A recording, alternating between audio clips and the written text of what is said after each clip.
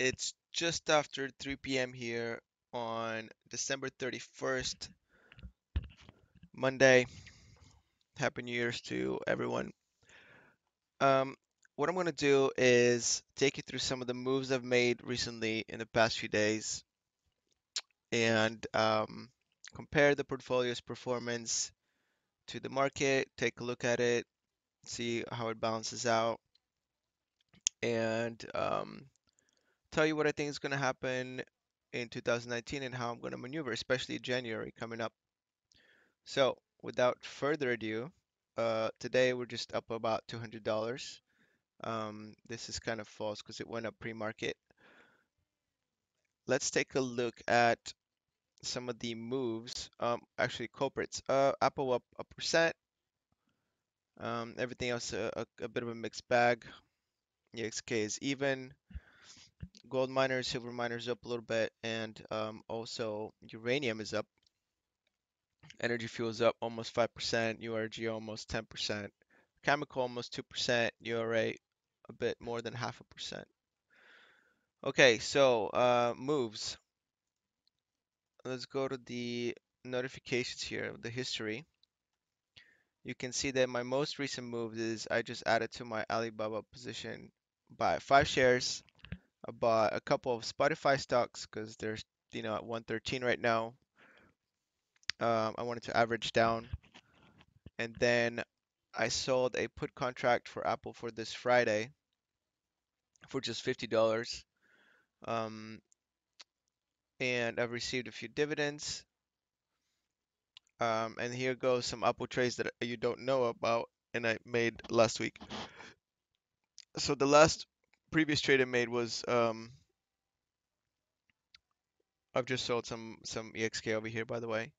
100 shares trying to lessen that position a little bit and raise some cash. Okay, so Apple I sold a con put contract at 115, bought it back up at 79, giving me about um, $36 in profit. These are just some cash deposits that are coming through. More dividend, an expiration of a put sell, collecting the money from that. Um, was trying to work a trade here, didn't happen. So more Apple action. Oh, so I bought some SunCoke Energy, just 10 shares, just to just because I think it's a little bit undervalued there. Um, although I don't have a very good read on this company, I'm just judging by price action, and um, I just want to be a little bit involved in their business. I've also sold some uh, Russian index ETF put sell. Uh, expires on the 18th. A lot of stuff's going to expire on the 18th. And uh, see, this is me just trying to work some trades, this particular trade. and then we have um, an Apple put sell at $74 and I bought it back up at 13 so that's um, another $63 profit or so. And then there's another Apple trade. Here's me selling the GDX uh, put contract. And here's the final Apple trade. This is when I buy it back. Um, sold a call against URA all the way into May. Um, Cameco call sell into December I'm sorry, into um, January 11th, $15 from that. I got rid of Switch finally, took a big loss, probably around $500 loss from that. That's a big loss. Never doing that again. Um, all right, so I sold SH because I got some profit off of that. And so um, I decided to call it quits and use the cash for options selling instead. That's after the big market drop. This was my um, only market short. So now I'm kind of flying naked a little bit. Not a little bit, but a lot of bit. So here it is, $169. And the reason why I started playing with Apple now is because I need to raise the money in order to pay my monthly fee for having such a large margin account. So now, as you'll see in a little bit, I have $30,000 of margin to play with, and I need to make $125 a month to cover the cost of that. So here's my first attempt, which I was successful. Uh, I sold an Apple put for 169 and then I bought it back at 29, which gives me a $140 profit. So I've already paid off my um my monthly fee with this one trade and then some and I had, you know, um $15 profit plus the other trades I was able to make last week for Apple which are additional uh, profit, which is like another 100 bucks or so, a little bit less I think. So that's kind of what's been happening. Uh, I've been trying to trade Apple, and now I actually sold a, a, another Apple put for $50 and see if I can buy it back in the new year for a cheaper price or just let it run out. I'm not opposed to owning Apple. It's $150. Oh, so much activity. It's $150 uh, put, or is it? Right. So if Apple drops down 150, I'll be forced to buy next week. But I'm not so mad about that. You know, um, because I wouldn't mind owning Apple at 150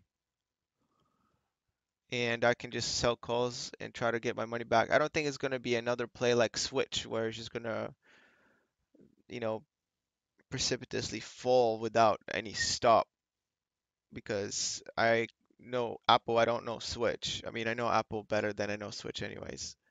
I'm highly doubtful that it's going to keep dropping down and lose another 50% of its value from here, unless there's like a huge, broad market-based sell-off and it just gets dragged down. In which case, I'd rather own Apple than many of the other companies in the S&P anyway. Um, so that's what's been happening. Let's go to over here to the account and just look at the distribution of the account here.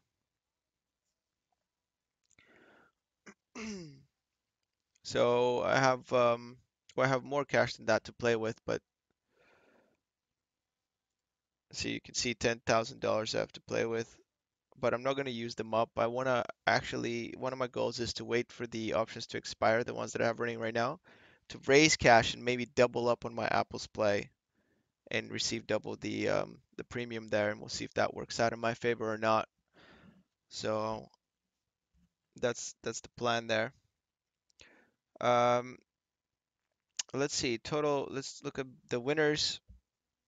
Total return. Right now, my biggest gainer is Wheaton Precious Metals at $600. Um, it's a quite a, it's my biggest holding at the moment as well. So that works out well. Um, Energy Fuels at $362. So you can see um, SIG, my third biggest winner, Cameco, fourth, royalty income, even though it went down recently, now my my fifth biggest winner. A lot of there's not a lot of green here for long-term holdings because I you know I do trade out a lot of them. Like SH was up a little bit, but I sold it off, so you might not see a lot of green. You know, this doesn't account for all the trades that are made. And um, you can see these are all the losers here, very big numbers. Um, what hurts the most is these two right here, URA, which is the Uranium Global uh, Uranium Business ETF. I'm down a thousand dollars on that almost, and also the emerging markets ETF, which I'm also down another thousand. So that's that's hurting a lot. that's hurting a lot, but well, hopefully this turns around. Um, if we go by amount of equity I have, Wheaton Precious Metals, then is the RSX, which is the Russian ETF. Apple comes in third. Global Uranium ETF uh, in fourth place, and then the Emerging Markets Fund in fifth, and then C-SPAN in sixth, etc. Going down the line. So Endeavor used to be a little bit higher, now it's no longer this high. Um, so that's kind of the the breakdown here of the portfolio. Um, it's valued at the moment at 43,576 four, we just switched off. 43,565 and 6 cents. Now let's take a look at this is uh, the week's performance. this week's been favorable, up almost $2,000 in valuation here of this portfolio. One month performance is going to be a little bit worse, um, minus $841 or almost 2%. The three months is minus 2.7%. And year over year, my yearly performance is down 1.25%. Let's compare that to uh, the SPY, which is the S&P 500 ETF index following exchange traded fund. So 2.7 in the last three months and yearly 1.25. Let's see. So three month performance a ton better. 13.89% down for the S&P index fund. And then the yearly performance is minus almost 5%. So beating the market this year, but you know, um, the portfolio itself hasn't really outpaced the market in the previous years. But in my defense, in the previous two years, if you go home, you can see like the all time is not very high. The all time is just up only 3% in these previous years. But in my defense, this uh, for the majority of the life of this account, it's only been playing with minimal sum. All right, so I had to build the cash in there, and so you know, a, a thousand dollar gain here would would have been a lot. Let's see, let's find the end year. November, December. Was big gain right here. Okay, so January, somewhere around there.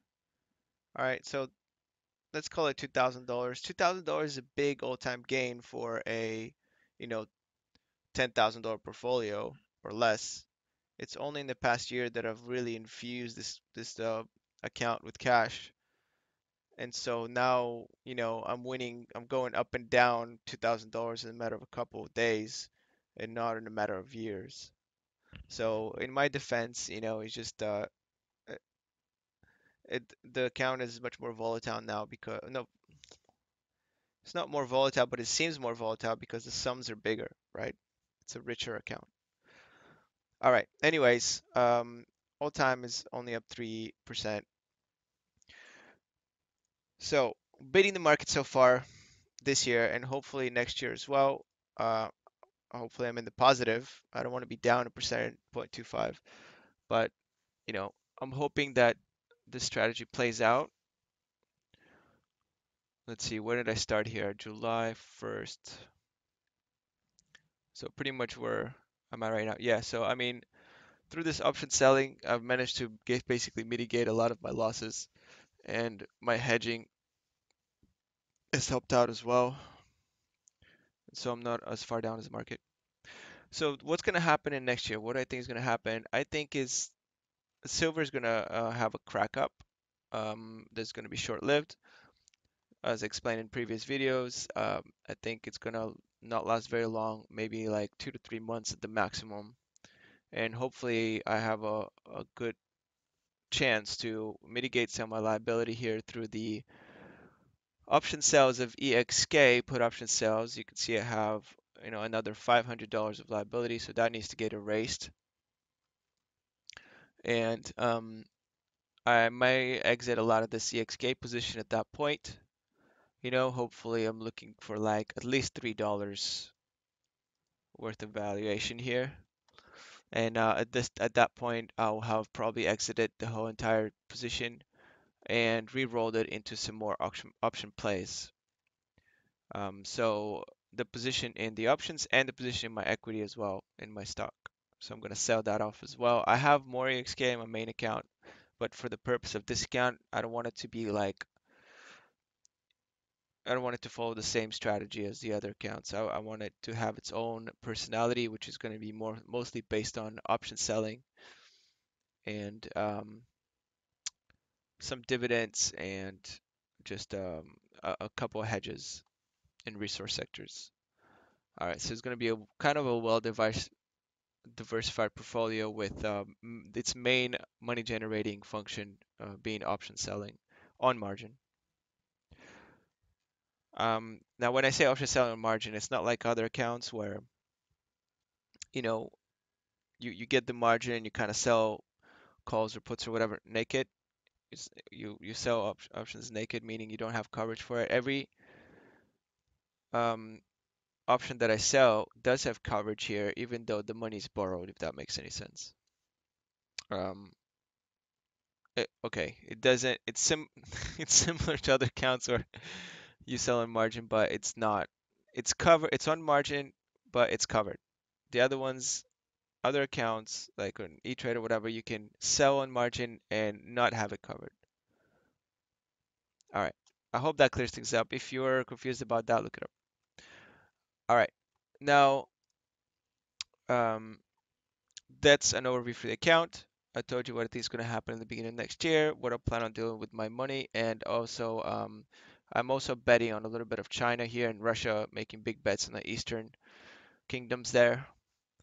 And hopefully that pays off in the next year uh, with the emerging markets as well. I'm thinking the next year is going to be the year of the emerging markets and, and the Eastern kingdoms. Not so much, I call them kingdoms, even though they're not, but I like to call them kingdoms.